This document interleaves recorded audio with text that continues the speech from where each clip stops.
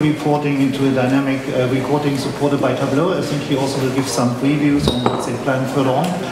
Lior is a long-time customer of Tableau. I think he worked now in several companies with, with Tableau already. I think he is always driving the joy and drives it further. And he will give you some insights on how they changed a lot in Tableau, in Zalando with Tableau. Lior? Here we. Thank you, Lars. Is it working? Yeah, good.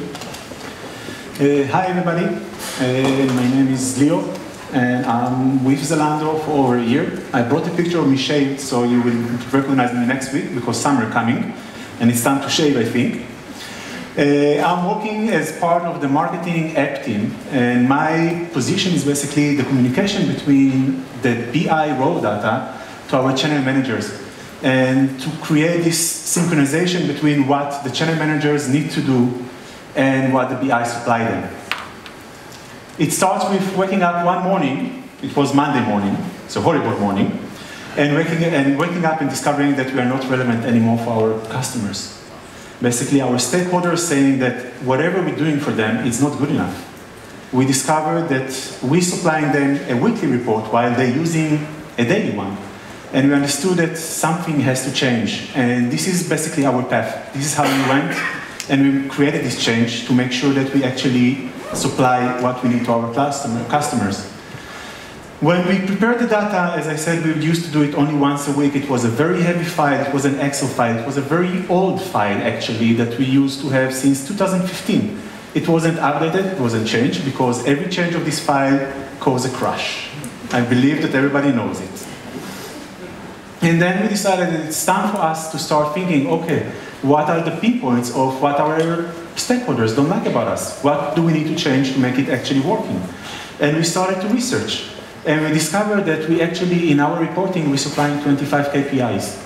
Now, we met with a brilliant researcher from the University of Bologna who found out that the optimal number for a channel manager to have is 10 KPIs, no more than that. When you're supplying more than 10 KPIs, he cannot focus actually on the data. He doesn't understand what's going on there. He doesn't know how to work with the data, and then he's getting lost. And this is the biggest pinpoint that we found out when we started researching it. We tried to figure out, okay, so we have 25 KPIs, how many of them actually relevant? What do we need to do? And then we started to go over our processes. Okay, why are we so slow? Why do we supply the data only once a week? Why don't we supply it every day? Why is the blocker from us? While our channel managers on a daily basis actually had their data aggregated and supplied to them by their own means. They done manual process for every single thing. They went to the dashboards of Facebook, they went to the dashboards of Google, they went to the dashboards of Twitter even, download the data, put it in an Excel sheet, started to aggregate it, started to work with it. And it made no sense that we're doing a double job because for us it was also the same. Now, not only that, for us to actually supply the data to our customers at the end, because the stakeholders were so many of them, we needed to aggregate the data with R, which arrived to huge files of sometimes 1.5 gigabytes. I believe that nobody can actually open it with Excel. And this is where we realized that, again, we need to create a change, which brought us basically to start thinking, how do we take this Excel file and we actually transfer them into the times of today that you need to consume data in a fast way. And as you can see, it's the amazing report, it's one of them. I'm sorry I cannot share numbers, uh, but you can see that basically we had uh, only level of the country and the OS, and that's it. That was the only dimensions they could use. Not only that, as you can see, we started from installs and install counting and then cost and CPI and CPU and so on and so on, which didn't make sense. It was too much for them to process, and it was even for us too much to process. And we realized that we need to change it. You can see here this amazing graph of mouse that we used to present to them. I believe that everybody can understand exactly what they need to do tomorrow, right? this was the problem for us as well, because we gave data that actually wasn't usable for anyone. And this is where we decided that it's the time to start to adapt Tableau and bring it into the company and try to see how we're doing it. And then we met an amazing book by Peter Drucker that says the easiest thing, when you want to start something new, you need to start You need to stop something old. And this is what exactly we done. We stopped reporting. We stopped giving Excel sheet for, I think it was almost a month, that nobody received any report from us. And everybody was asking, what are they doing? These guys, they're sitting with the BI guys, with the developers, everybody coming around asking us questions about how we processing the data because they're supposed to know what they're doing. But the truth was that we didn't. We didn't know what we're doing and we needed to go and learn it. And we sit together with our channel managers and we started to understand, okay, what does this data actually mean? What are you using it for? What is this KPIs that you're using? Why do you actually check ROI? And yes, we are e-commerce company. We're supposed to know what ROI means. But apparently our ROI wasn't their ROI. The way that they calculated the return of investment wasn't the same. And we needed to understand why it's not like that. And we needed not, on that, not only that, we needed also to understand, okay, so when you're saying an ROI, what do you mean? And can it mean the same for the Facebook channel and for the Google channel? Do they all receive the same understanding of how we're using the data? And then we decided to come with this great idea. No more Excel. Indeed, it sounds like a story from a fairy tale. How can you stop giving Excel to people? How can you stop people using Excel? But actually what we've done during these weeks was to learn how they're using the data, what they're aggregating, what they're using it for, and actually create the same structure of their thinking pattern in the database. So the database knew exactly what it needs to do. We knew how to give them recommendation based on what they're doing and to supply them the best information when they needed it. When you think about it, and channel manager, when he arrived in the morning and I saw that there are a lot of marketing uh, guys here, the first thing he's doing is opening his dashboard on Facebook or on Google. And he's starting to look, okay, what I done yesterday, how much did I spend, what is the return on investment, what's going on, how many users, how many installs. It's a lot of numbers that they're using. But actually, at the end, you can do it in one number.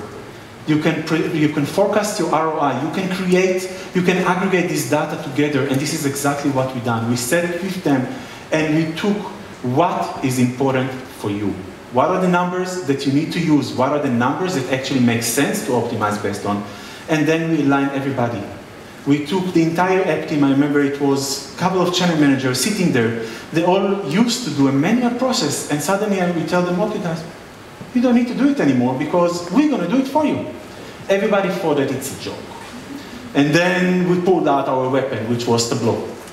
And we tried to actually explain to them how they can use three or four KPIs and then the right hierarchy with the right dimension. And not only that, instead of giving them a dimensions of a country in OS, we gave them the dimensions of the creative. They could go to the level of the creative and actually know what does it mean to have the data. And then started our path. Our path started actually only with a Tableau desktop and Tableau reader. We didn't have a server. We didn't think back point that we have a server because we weren't sure how it's going to go, how people will take it. And I think that this is something that's relevant to everybody who's starting today with Tableau because you don't show how the path is going to go and then you're trying to work around it and see how you can fix it. And this is exactly what we've done. We started with a Tableau desktop. We aggregated the data on a daily basis every morning. We used to come there before our channel managers to make sure that they have the data at 9 a.m. already. And we took this data afterwards and saved it on a G drive. Very simple. We put a lot of files, but then we discovered one issue that we had there. People didn't actually download the latest file. And they used to come to us and tell us, guys, but why my numbers are wrong now? And then you go with them over the process and like, okay, show me what file you are using. And you find out that, okay, they're using a very old file. It's from last week. How can I use these KPIs if it was from last week? And I agree with you, you're completely right. And then we started to understand that we actually will need to do the Tableau server and start moving towards there. And this is actually what we're doing on these days. We're starting to adapt Tableau server. We rolled it out today to the app team, and they started to use it as a tool that actually them the data on a live version, and then we don't have these issues. That's one of the key learnings that we had. We also learned that we're separating our systems to two different types. We have the Hive, Hadoop, basically, and Spark that we are using to process the data. We have a lot of data that we're receiving. We're receiving data from Adjust, from Facebook, from uh, Xngage that we're using. We're using a lot of partners. And all these partners sending us a lot of information. We moved all the APIs to sit under the BI. And the BI processing the information for us every morning, and they're finishing by 6 a.m. every morning the aggregation, then they're starting correction of the data, because not everything is correct. Sometimes you're using the wrong creative name, and you need to correct it. And this is what they're doing. And then at the final stage, they're actually aggregating the data so we can actually use the data at 8 a.m. already prepared and ready for our channel managers. Then when we're finishing the aggregation on the Hive and Spark, we're moving it, the operation, the entire operation into the Exasol. And this is the biggest issue for us at the moment because not everybody knows how to write an SQL. And this is where the Tableau coming in again. And actually it was the big saver for us. We actually understood how to start using the data in the right way once we move into Exasol as an aggregated table. People can actually start using it from Exasol directly to the, to the to Tableau server, and from the Tableau server they just start using it. It's really simple, it's really easy, and we're making sure that actually from now, our uh, managing board actually also using it. And not only that, they receiving a fresh look dashboard every week from us, which looks very good this time, and it's contain only 15 KPIs and not 25. Uh, we didn't reduce it until to 10 yet, but very soon we're going to arrive to it. We reduce it to 15 KPIs when understanding that we can actually reduce the amount of KPIs that we supply. We try to think in the shoes of our channel managers. That's the Zalando motto, think in the shoes of your customer. And this is actually what we've done. And we started to give them 15 KPIs, and very soon we're going to reduce it. We're going to bring it as low as we can, because we think that at the end, as a channel manager, you don't have time. You just don't. And then we went to our channel managers with this beautiful thing. It's a, a paper that we prepared. Uh, by the way, this is my writing and I'm not allowed to write anymore in any meetings in the company, I must say. Nobody likes it. But what we're basically doing is we sitting down together with our channel managers and we're trying to understand, okay, do you think that this, this dashboard with what you have here will be enough for you, will be sufficient. And then we, before we even starting the process to sit on the Tableau desktop and start to develop the report, we're actually giving them a final version of how it's going to look like. Without numbers, without much information, we're trying to give it as simple as we can. This is how it's going to look like, and this is the final version. In the company today, we have, I think, in our office only, on the, this area that we sit in, three whiteboards. These three whiteboards become our best friends. There is no more presentation at Zalando and for our team. The only thing that we're using is either the Tableau to present numbers or the whiteboards.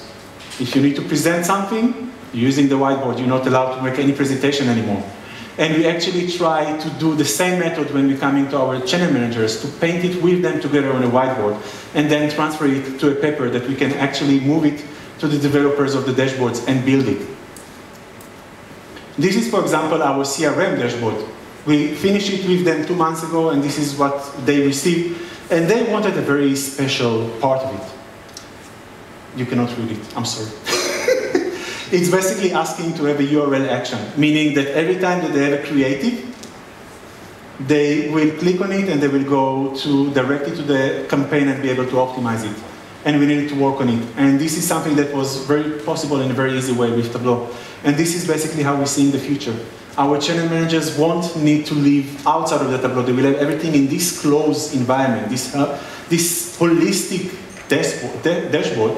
But basically, we'll have the numbers on top. They will click it. It will be interactive. It will move to a website. They will be able to optimize their campaigns, and they basically will be able afterwards to make action. And action, I think, it's a key component that what we're doing today we having key action for each team. We have for them what is the main key that they're going to optimize based on their creative. And this was one of the another learning that we had, that we need to agree on one KPI that will be relevant for this team to actually optimize. Then we took another step and we said, okay, what happens if tomorrow Rubin, our founder, will come to the office and want to see what's going on with the performance team? And we found a very easy way to do it. We constructed our dashboard in hierarchy. So there is an hierarchy that starts from the top. He can see what the paid, non-paid, and organic done yesterday. He can see afterwards, okay, from the paid, which channels drove the most activity, which channels actually improved.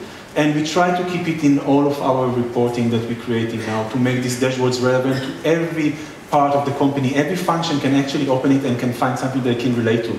And I think that this is something that it's another learning from this Monday morning with this cat that woke up and wasn't so happy about it.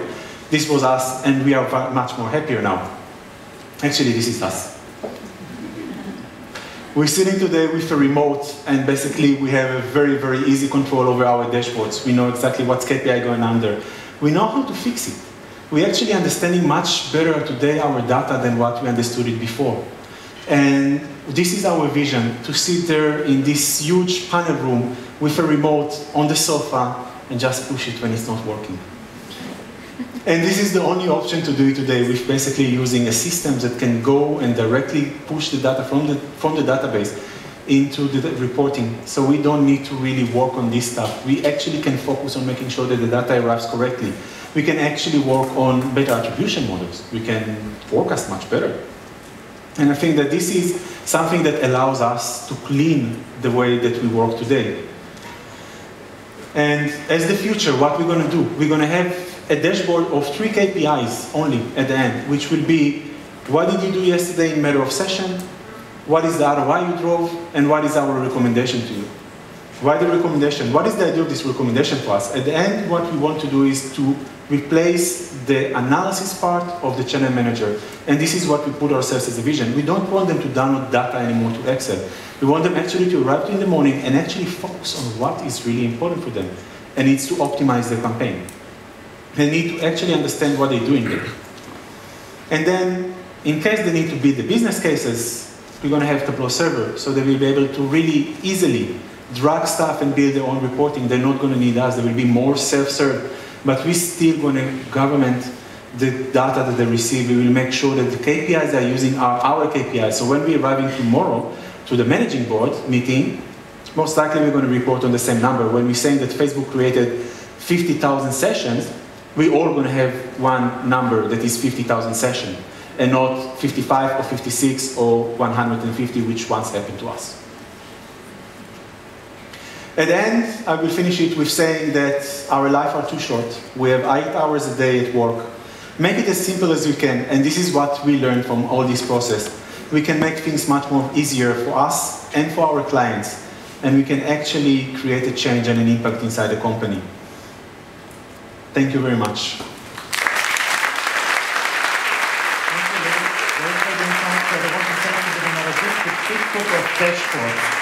some good insights. Okay, next on stage